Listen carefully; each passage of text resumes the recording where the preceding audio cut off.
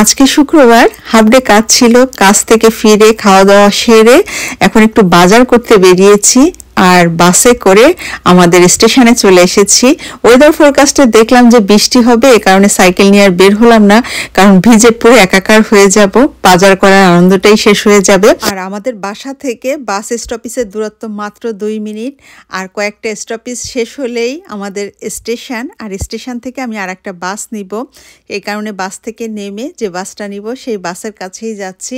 আর ভাবলাম আমাদের এই ভাঙাচুরা স্টেশনটা আপনাদের মাঝে শেয়ার করি কিছুদিন পরে এখানে খুব সুন্দর একটা স্টেশন তৈরি হবে। স্বভাবতই আজকে যারা নতুন আমার এই ভিডিওটি দেখছেন, মনে হতে পারে আমি কোথার থেকে কথা বলছি।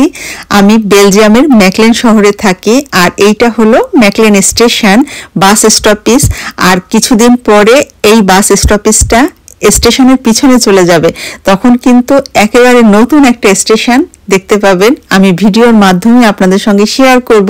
আর বেলজিয়ামে যারা আছেন ব্যাকলিন শহরে এসেছেন, ট্রেনে করে, বাসে করে কোথাও না কোথাও গিয়েছেন, তাদের কাছে তো পরিচিত এই স্টেশনটা। অনেকটাই রেনোভেশনের কাজ চলছে। আর নেকার স্কুল এই বাসে করেই আমি যাব। ডাউন সাইডে এই ট্যাক্সিগুলি ওয়েট করছে। যারা নিতে চায় ট্যাক্সি তারা নিয়ে যাবে। Goedemiddag. বাসে আবার উঠে গেলাম। আমাদের বাসাটা যে জায়গায়, সেই জায়গা থেকে সেন্টারটা খুবই কাছে। আর আমার যে প্রয়োজনীয় দোকানগুলি দরকার, মাংসের দোকান, তারপরে হলো মশলার দোকান, সবজির দোকান সুপার মার্কেটগুলি সব কিছু কাছাকাছি, এ কারণে খুব ইজি হয়। মাত্র দুই তিনটে স্টপেজ পরেই হলো আমার গন্তব্যে পৌঁছে যাব। স্লাগার মানাল, এই দোকানেই এসেছি আমি। এই দোকানে সব কিছু পাওয়া যায়, একের ভিতরে সব কিছু মাংস থেকে শুরু করে ফল, সবজি সব কিছুই এখানে পাই। আর বাস স্টপেজ থেকে পায়ে হাঁটা, দুই মিনিটও না এখানে আসতে, পাকা ডুমুর, কোরআনে বর্ণিত তিন ফল এত মজার প্রমোশনে দিয়েছে, পাঁচ টাকা পঞ্চাশ পয়সা কেজি। আর বাংলাদেশি টাকায় যেটা প্রায় সাতশো টাকার মতো, আর এগুলি হলো বাংলাদেশি গাবের মতো টেস্ট আর বেলজিয়ামে এটাকে আমরা কাকি বলি? এত মজা! ছোটবেলায় মানে বাংলাদেশে থাকতে যে গাব খেতাম, ঠিক তেমনই টেস্ট তার থেকে মনে হয় মজাটা বেশি। আর এটাও প্রমোশনে দিয়েছে ওয়ান নাইন নাইন আর এগুলি হলো কাসনাথ শুধুমাত্র এই ক্রিসমাসের সময় এটা পাওয়া যায়। নভেম্বর ডিসেম্বর দুই মাসে এটা থাকে। আর এগুলি কাঁঠালের বিচির মতো টেস্ট একেবারে। পুড়িয়ে খেতে হয়। ছয় টাকা নব্বই কেজি এগুলির আর এগুলি দেখে জিভে পানি চলে আসবে। কারণ জলপাই দেখলে সবারই জিভে পানি চলে আসে। তবে মুখে দেওয়ার পরে এত বাজে লাগবে ফেলে দিতে হয়। এগুলি আসলে তেল বানানোর কাজে ব্যবহার হয়, আর আরবিরা এটা দিয়ে আচার বানায়। এক এক অঞ্চলে, এক এক নামে পরিচিত। আমাদের খুলনায় আমরা ডালিম বলি। অনেক অঞ্চলে এটাকে বেদানা বলে। আর আমাদের বেলজিয়ামে না দুই ধরনের ডালিম পাওয়া যায়। একটা টক আর একটা মিষ্টি। তবে মিষ্টিটা আমার কাছে বেশি ভালো লাগে।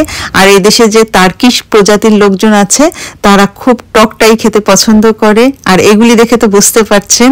কাঁচা খেজুর, পাঁচ ইউরো নাইনটি নাইন কেজি, একেবারে সৌদি আরব থেকে চলে আসছে। খুবই মজা। আতা সিজনাল এই ফলগুলি শেয়ার করার অর্থ হলো আমাদের শীতের সময় এই ফলগুলি বেলজিয়ামে বেশি পাওয়া যায়। তবে এই আতাগুলিও বাইরের কোন দেশ থেকে আসছে আমি জানি না, খুবই মিষ্টি। এটাও প্রমোশনে দিয়েছে দুই ইউরো পঞ্চাশ।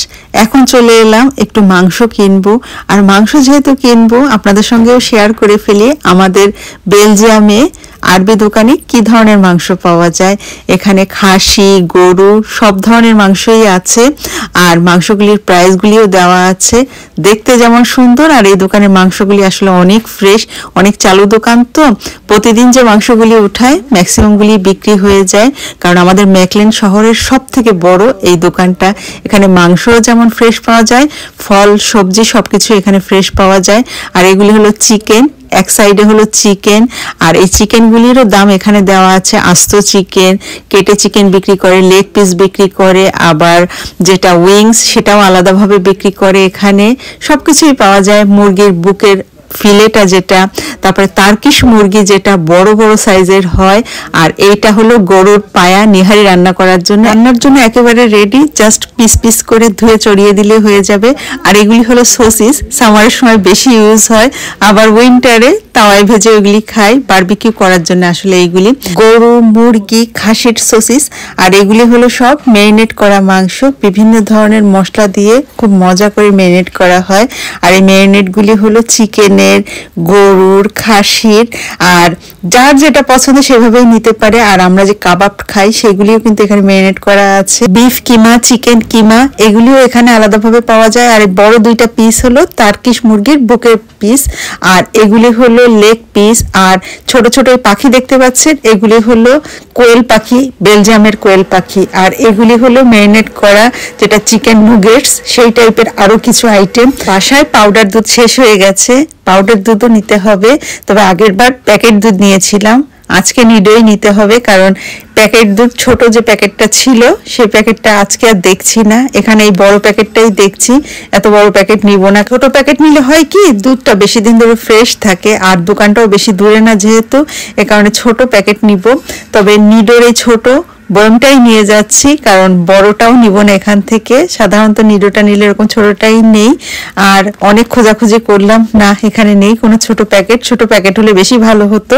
আর এখানে একশো গ্রাম ফ্রি দিচ্ছে কিন্তু এই বড় প্যাকেটগুলিতে। বাংলাদেশ থেকে যখন প্রথম এসেছিলাম, শাহী খাবার রান্না করতে, বাংলাদেশি ঘিটা খুব মিস করতাম, তখন এই খাতুন ঘিটা কিনে ইউজ করতাম। তবে এখন আর এই খাতুন ঘিটা কিনি না আমি। এই খাতুন ঘিটা ভালোই, তবে আমার কাছে বাসায় বানানো ঘিটাই বেস্ট মনে হয়। সেটাই আমি সুপার মার্কেট থেকে কিনে এনে নিজে বানিয়ে ফেলি।